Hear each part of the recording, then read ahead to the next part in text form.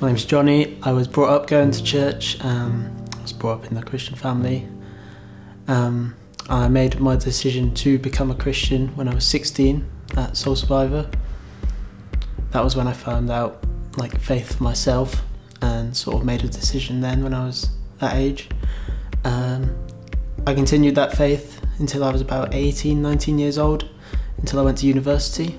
When I went to university, I fell away a bit. Uh, didn't connect with churches very well. And so I fell out of church until the end of third year of university.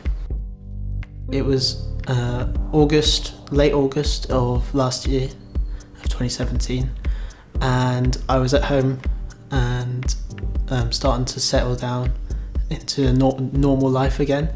And um, I was on a night out with my friend, and um, for some reason or other, after the night out at like three o'clock in the morning, I walked back to his house with him, and it was like completely opposite direction to what my where my house was.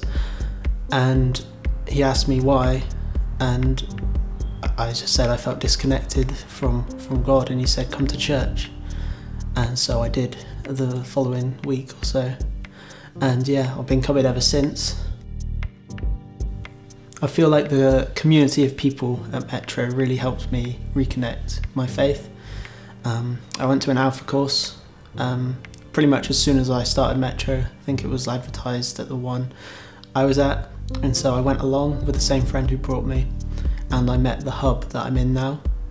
And that hub has helped me grow and helped me sort of come to the realization that faith is nothing to be afraid of. Since I came back and since I've been going to church for the last six months, um, my family have definitely noticed like a difference in me.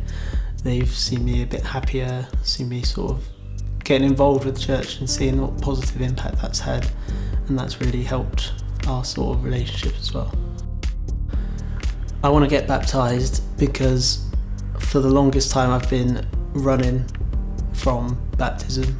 It's been something that has been challenging me since I first became a Christian when, I was 16 and it's something that always been in the back of my mind but I've always had an excuse for it.